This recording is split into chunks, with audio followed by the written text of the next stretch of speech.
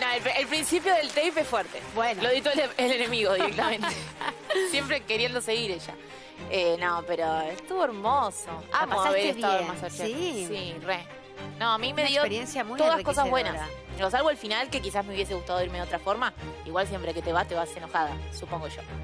Y aparte, me, me parece que generás esto que le ocurría al jurado, esta cosa de que sos tan querible, tan amorosa, generás empatía. Entonces es como decir, dale, dale un poquito más, dale, ponete positiva, dale, vos podés. No, además pasamos muchas horas. También se Eso corta mucho y, y en algún punto de repente estamos ahí hablando y, y nos conocemos. Más allá de que con el jurado no hay relación para que no se mezclen las cosas. Sí.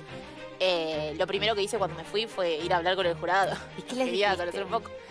No, nada, me dijeron cosas preciosas. Les fui a agradecer por las palabras del final Sí. porque fue un momento raro para todos. Creo que para ellos también, fue raro. Eh, entonces les fui a agradecer porque fueron palabras re lindas, verlos emocionados también era lindo para mí. Así que, que ahí estuvo lindo. estuvo ¿Y lindo. te amigaste con la cocina? Digamos, ¿sentís que cocinás mejor de lo, de, de lo que No, sin cuando- duda. Sí, obvio que cocino mejor. Empecé en cero y ¿No cocinabas nada, nada, nada, nada? Lo necesario para subsistir. Y, y aprendí un montón de cosas. Eso está buenísimo. Es, es realmente como un- ir a una escuela de cocina. Sin duda, es un Eh, curso muy intensivo. Sin con los dudas, mejores. según ellos, con otra actitud hubiese aprendido más. ¿Y eso es algo que te pasa constantemente en otras actividades? No, me pasa eh, lo de la frustración. Sí. Tengo nula tolerancia a la frustración. Y soy muy exigente conmigo. Entonces me pasa eso. Y bueno, y estoy en un reality y, y se nota. En una tira no te das cuenta, porque no ves cuando me equivoco. Sí. Pero, pero sí, me pasa con todo. Pero en realidad, o sea, es como tenés miedo que te vaya mal. Primero siempre lo que me imagino. Sí. Siempre un paso más adelantada estoy. Hola, copita. Y, y pensás que te va a ir mal, no que te va a ir bien. O sea, no, nube, nube siempre la catástrofe antes. Bien. Siempre Entonces, antes. eso te limita tal vez en probar la opción de que te puede Sí. ir bien. Sí, sí, ya, ya empiezo mal predispuesta. Entonces, ¿Esto te pasaba de chiquita en casa? ¿Seis hermanos, la más chiquita? no, no sabría decirte, pero, pero sí que, que siempre mucha exigencia. Con todo, hacía un deporte y, y ya antes de arrancar un partido ya me ponía mal. O em- em- empezaba vomitando porque ya estaba... Pero no venía de afuera, digamos, no, no era tu papá No, o tu mamá. siempre no, mía. tu- tuya. No, si ellos lo primero que hacían es decirme, bueno, no vayas más, déjalo, soltar. No, yo... Mío. Tuyo. Bueno, te hiciste una gran amiga, Sofía Pachano, Sí. que tiene algo para decirte. Ay. Adelante, Sofi.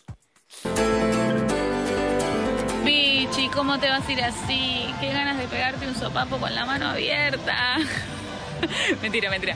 Te quiero, eh, sos todo lo que está bien. eh, me encantó ser tu bichi. Te mando un beso acá desde el Mar Caribe. Eh, no se escucha que en la pileta están haciendo aquagym. Ahora me voy a hacer la clasecita.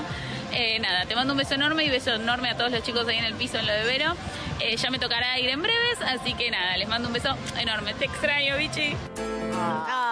Hermosa la Pacha. No, lo más, sí, Sofi, lo más. Nos conocíamos de habernos cruzado en algún Sí. lugar antes y de tener amigos en común, pero no, no teníamos relación. Y ahora se hicieron muy amigas. Sí, re. Es que la verdad que con todos, porque pasás mucho tiempo y pasás mucho tiempo Sí, de mucho siendo tiempo vos. es real. O sea, sí, las sí, sí. son de de Sí, jornadas el de 10 programa horas. es una hora y media, dos horas, pero estás ocho, nueve horas. Sí. Eh, y es todo el tiempo eso, siendo vos. Y estás cocinando siendo vos, entonces el otro te, te conoce cómo cocinás y cómo todo. Entonces es, e- es, es mucho más fuerte todo y te conoces muy rápido también. ¿Había momentos de tensión sexual? De, de ese- Ah. no, no no digo ¿Mm? vos, o a lo mejor sí, pero había eso como... No, no, yo no lo vi. No, hubiese sido divertido. Sí, por eso, un condimento No, interesante. en eso fue re aburrido. No sé. No, hubiese sido divertido algún Claudia con camarín el, que Claudia se escuchara algo. no sé. Parejas eclécticas.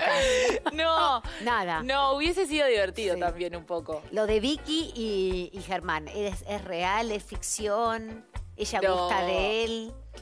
No sé, yo creo que ella un poco le, Sí, le yo entretiene. sí.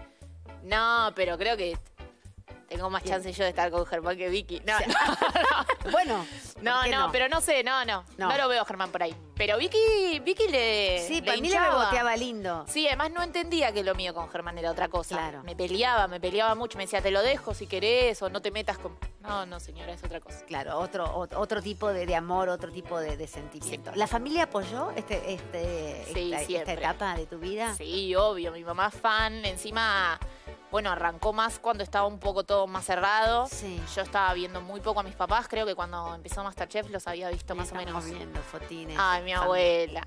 Eh, los había visto dos veces, creo, nada más, porque realmente me daba terror contagiarlos, porque yo me cuidaba, pero bueno, con mi novia también, ella quizás se iba y veía a otra persona, entonces yo ya viéndola a ella era como ver a un montón de Sí. gente.